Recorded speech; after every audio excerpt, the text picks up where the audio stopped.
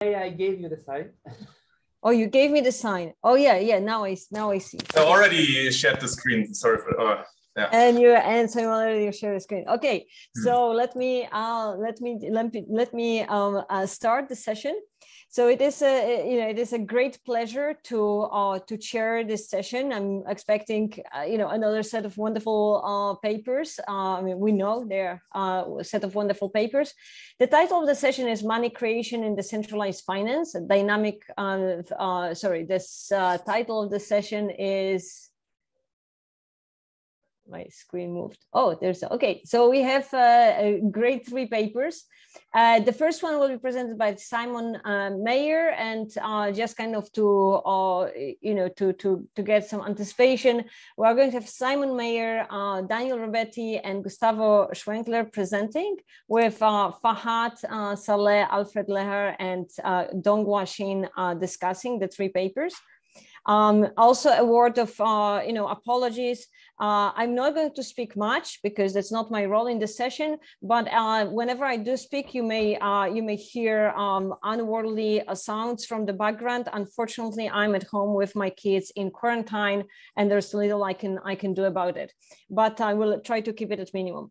So uh, with that, Simon, please take it away. You have 20 minutes.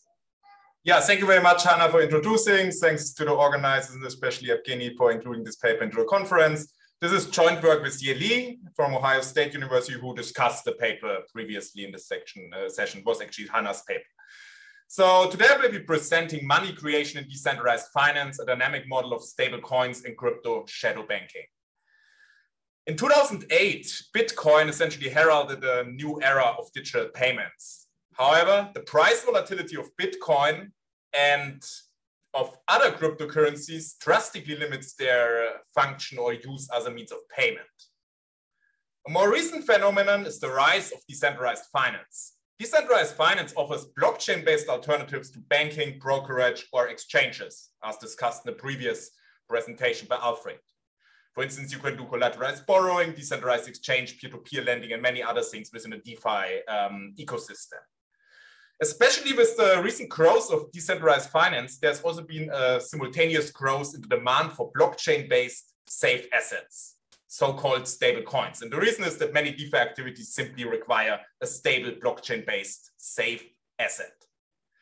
To give you an idea about the growth of decentralized finance and uh, stable coins, I show you on the left panel here the total value locked in lending, which is one decentralized finance activity, the right panel is the total value locked in decentralized exchanges, which is another decentralized finance activity. And yeah, the growth was tremendous over the last year, essentially. And um, well, the numbers might seem small at this point. We are like, if we add this up, we are roughly at 100 billion, but the growth is like very quickly. At the same time, the market value of stablecoins has grown at similar speed uh, with the total market cap of stablecoins. I think it's around 140 billion US dollars as of now. So this number I should have updated here. It's 153 billion. I'm sure it might be different um, as of this presentation. So what are stable coins? Stable coins are essentially cryptocurrencies pegged to a reference unit. And most of the times, this reference unit is the US dollar. Who issues these stable coins? Well, I distinguish between three different types of stable coins. The first type is issued by so-called stable is, is issued by specialized stablecoin service providers the most famous one or the most controversial one is Tether or Tether Limited. And uh, another uh, essentially um, uh, more recent stablecoin is issued by MakerDAO, and that's the stablecoin DAI. Stablecoins also are issued to some extent by some established multinational networks. We have the JP Morgan coin issued by JP Morgan, uh, there are several consortiums of banks and exchanges or a consortium led by Facebook that also consider the issuance of stablecoins. No, most notable example is Diem.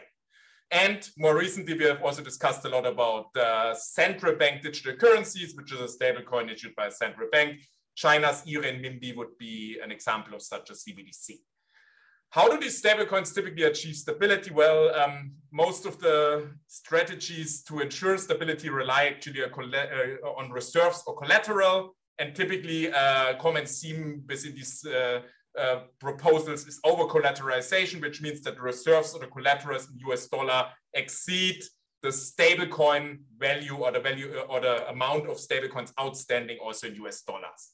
And then typically the stablecoin provider issuer conducts some open market operations to ensure price stability, meaning when the price of the stablecoin is too low, then the stablecoin issuer buys back stablecoins, pushing up the price. When the price of the stablecoin is too high, the stablecoin issuer issues new stablecoins, driving down the price.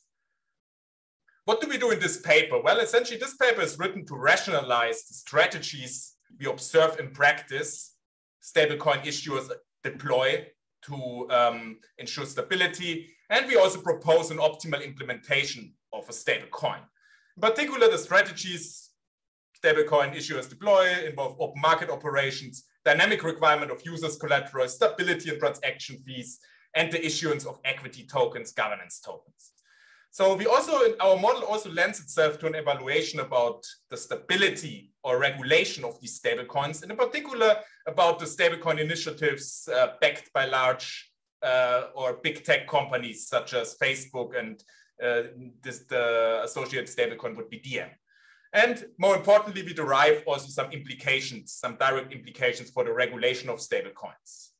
In this paper, we focus on the most common type of stablecoins, which would be an over-collateralized stablecoin backed by risky reserves. How does it look? Well, in our model, we, uh, we essentially consider a dynamic model of over-collateralized stablecoins, which are issued by a risk-neutral yet financially constrained platform. And these stablecoins are essentially held by risk-averse users who derive some convenience yield from holding these stablecoins. And the users are risk-averse because they value stability. The users can trade the stablecoins in the secondary market, and that includes the possibility that the users can trade the stablecoin with the platform, or they can trade against the platform, which is somewhat akin to redeeming a stablecoin. And what does the platform or the stablecoin issuer do? Well, the stablecoin issuer maximizes its equity value and in order to do so, it dynamically manages its reserve assets, the stablecoin supply via open market operation, potential transaction fees or stability fees, or also the collateral requirements for users in that users may have to put down some risky collateral. Um, I give you now the balance sheet of two um, uh, prominent types of stablecoins in practice to just give you an idea how this looks. Let's start with the panel A on the left-hand side, which is a stablecoin simply backed by risky reserves. If we look at the balance sheet of the stablecoin issuer, we have on the left-hand side the assets, the reserve assets, and these are typically risky. On the right-hand side, we have the liabilities, which consist essentially of these stable coins. So stable coins, in essence, are a liability to the stablecoin issuer. And we have also the equity value, which is the governance token. So think of governance tokens just as equity. What happens if there is a negative shock to these reserves? Well, then reserve assets decline with this negative shock and the equity holders, i.e. the governance token holders, observe this shock. And an example of this structure exhibited in panel A would be Tether, with the caveat that Tether doesn't have governance tokens, but has equity. Panel B is a slightly different stablecoin structure in which we also have a second line of defense namely user collateral. On the asset side of the stablecoin issue on the right-hand side, we have essentially collateral put down by users and reserve assets, which are owned essentially by the stablecoin issuers. How does it look? Well, in order to um, mint a stablecoin, any user has to put down some risky collateral backing the stablecoin subject to a margin requirement. So we have some margin on the liability side.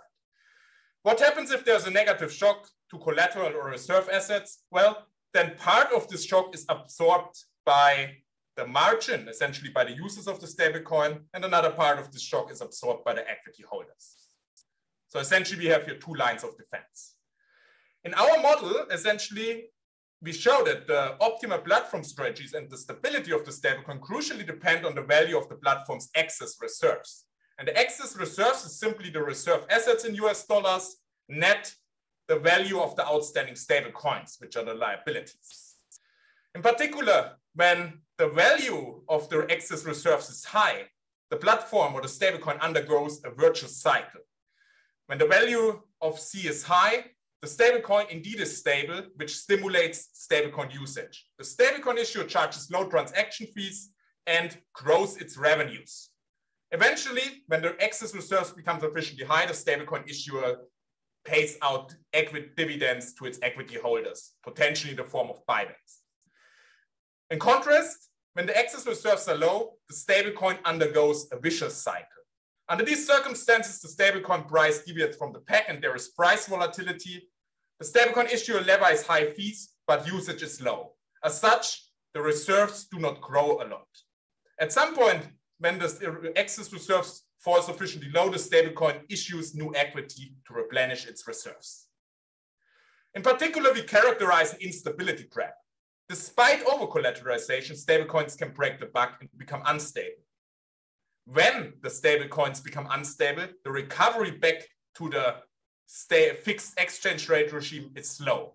In particular, stability can persist for a very long amount of time.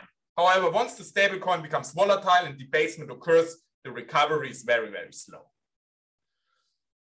Before we also apply our model to evaluate essentially these stablecoin initiatives by big tech companies, in particular by Facebook.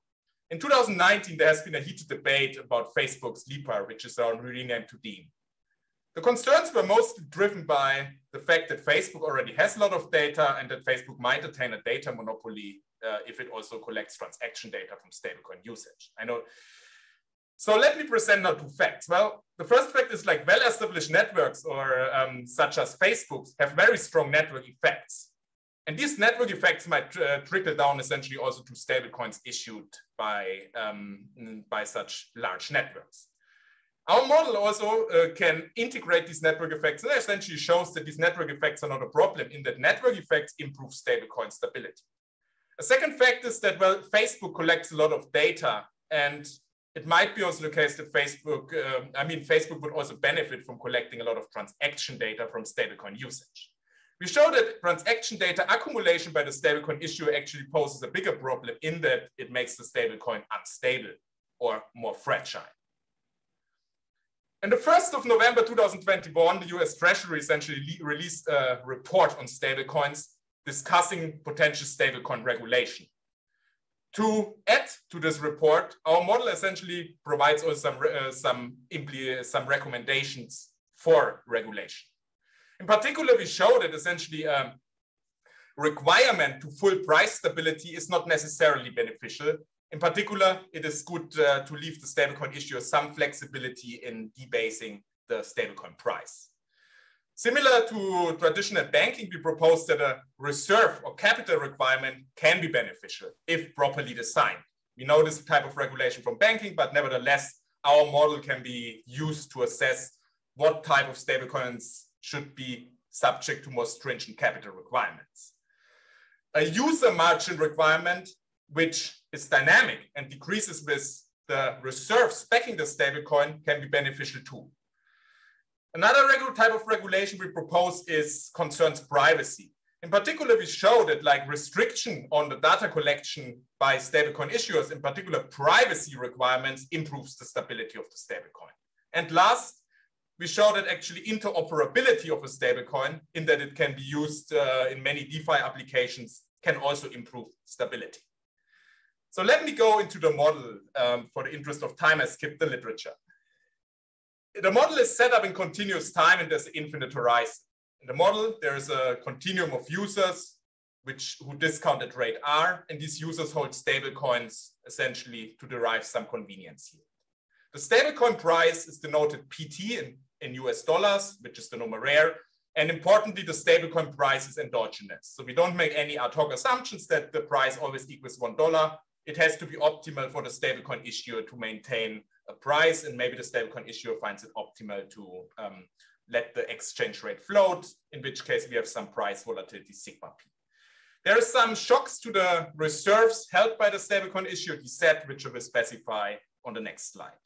So what can the stablecoin issuer do? Well, the stablecoin issuer can always mint new tokens or new stablecoins, in which case the supply ST increases and the stablecoin issuer can also use its reserves to buy back um, stablecoins, in which case the supply of the um, stablecoins decreases. And this is akin to open market operations. And this tool is used to essentially ensure stability of the stablecoin. So why are these stablecoins used? Well, it's a big debate, but we simply assume that like the, um, the users of a stablecoin derive some convenience yield um, from holding these stablecoins, which captures essentially the potential use, the usability of these stablecoins within DeFi or um, any other preferences that give rise to stablecoin usage. Importantly, we also assume that stablecoin users value stability, which gives rise to the concept of stablecoins in the first place. In particular, the utility these users derive decreases with the volatility of the stablecoin. And stablecoin usage then effectively is captured by the aggregate holdings of stablecoins by these users. And that's the volume, uh, that's the, we call it also transaction volume, that's the symbol NT. So the users optimize essentially, the users optimally decide how many stablecoins to hold, which gives then endogenously the stablecoin usage, NT in equation four. And the only thing we have to observe here now is like that, well, price stability is important in that stablecoin usage decreases with volatility of stablecoins. What does the platform do? Well, the platform maximizes its equity value and the platform holds reserves against the stablecoins. And these reserves are denoted MT and they grow with some return, rate of return R. They grow with stablecoin issuance they grow with fee revenues. So the essentially the stablecoin issuer charges the users of the stablecoin a fee. And importantly, the reserves are risky in that there are some shocks, in particular Brownian shocks to these reserves. And naturally, these reserves fall with the dividend payouts the stablecoin issuer makes to its equity holders. And the stablecoin issuer maximizes its discounted value of dividends, which is its equity value. So essentially, uh, I run out of time, but like uh, what we essentially show in the paper is that all the strategies of the stablecoin issue, and in particular the stability of the stablecoin, are fully characterized by the stablecoin issuer's excess reserves C. And this excess reserves C is the difference between the dollar value of the reserves of the stablecoin issuer minus the value of the outstanding stable coins, which is supply S times the price of the stable coins in dollars P. And at this point, I go actually to some plots and show how the stablecoin issuer strategy depends on the value of these excess reserves. At this point, the note, we require over collateralization, meaning that these excess reserves must exceed zero. And these excess reserves will then vary between zero and some upper bound at which the stablecoin issuer pays out dividends. What this plot essentially shows is that uh, the stablecoin optimally is stable when these excess reserves are sufficiently large. However, once these excess reserves drop below a critical threshold, volatility arises and the stablecoin becomes unstable. The intuition is that the stablecoin issuer then offloads risk to the users of the stablecoin by making the exchange rate or making the peg essentially float. How does that uh, then affect stablecoin usage or what we call transaction value? Well, when the stablecoin is stable, transaction volume or stablecoin usage is high, simply reflecting that the users of a stablecoin value its stability. However, when the excess reserves fall below this critical threshold and the stablecoin becomes unstable, this transaction volume or stablecoin usage is low.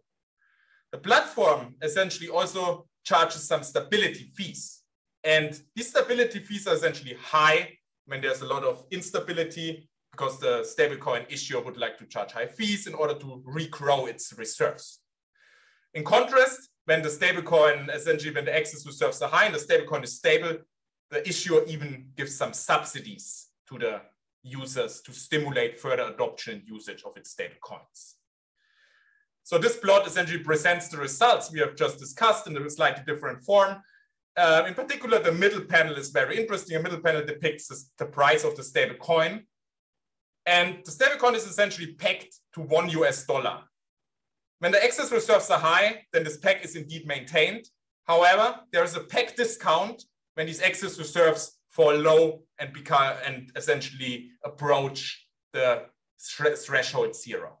In this case, essentially, there's a peg discount in the stablecoin price before it's below one, and there is price volatility. We also simulate essentially, we use our model to simulate and we in this graph uh, neatly illustrate some type of instability trap. In particular, it's useful to uh, have a look at the upper right panel, which depicts the stablecoin price as a function of time simulated. It's like very heuristic here. But essentially the stablecoin price is stable at one for a very long amount of time. But then some negative reserve shocks drive the stablecoin price below one. And then the stablecoin price fluctuates within a band essentially between 0.9 and one. But it takes a very long time for the stablecoin price to recover back to the fixed exchange rate regime one. We formalize this finding by essentially calculating the stationary density or the this distribution of states. In particular, the stationary density of excess reserves is bimodal, meaning that there is a large probability mass in states where the stable coin is unstable, which captures this instability trap. Once the stable coin becomes unstable, debasement occurs and stablecoin breaks the buck. It takes a very long time, again, for uh, the stablecoin to drift back to its peg. On the other hand, when the stablecoin is stable, then it spends a lot of time in the stability regime, meaning that fixed exchange rate regime can persist for a very, very long amount of time. What I have, Simon, uh, Simon, you should be wrapping up now. I wrap up. Okay, perfect. Yeah, thank you very much for um, thank you very much for the reminder. Let me conclude at this point in the interest of time. We develop a dynamic model of stable coins and crypto shadow banking, which is essentially the issuance of safe assets by stablecoin issuer. Despite over-collateralization, stablecoins beca can become fragile and break the buck, which gives rise to an instability trap. Our model rationalizes several stability mechanisms we observe in practice, such as the dynamic requirement of user collateral, the um, use of platform reserves, token price debasement, or the use of stability fees and governance token issuance. Our model also gives some uh, uh, recommendations for optimal regulation of stablecoins. In particular, our model recommends capital requirements, dynamic user margin requirements, and also the privacy requirements that restrict a stablecoin issuer's ability to collect and process transaction data can be beneficial in that these privacy requirements improve the stability of the stablecoin. Thank you very much for your attention, and I'm looking forward to your questions, comments, and to the discussion. Thank you. Thank you, Simon. And uh, now the discussion uh,